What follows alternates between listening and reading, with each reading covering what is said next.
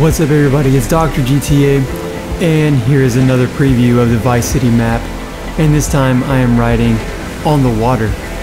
This is a map done by Lunchables, but with a X instead of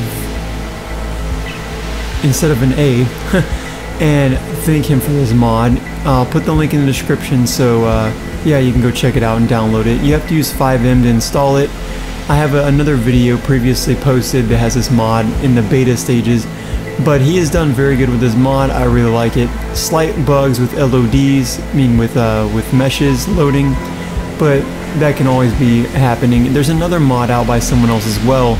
It's the same one except for it's done in a different style. I'm not sure who's going to release it first, but we will see who will be the winner.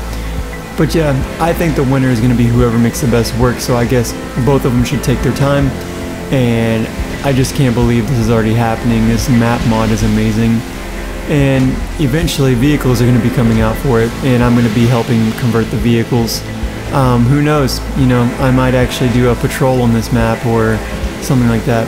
Again, you need FiveM server hosting to install it, so you have to use the FiveM servers or whatever to uh, client host this, and you have to install it into the root um, you just copy and paste it in. Then when you get into the game, you type invoke dash level load Vice City and hit enter and it'll load you right to it. It is in single player, it's not online yet, but it loads all single player assets. It's very awesome. I'm changing the time of day just to see what I different things you can do. I noticed that certain things were very different when I changed the weathers it's a really nice mod. It's beautifully done, and I suggest you go download it.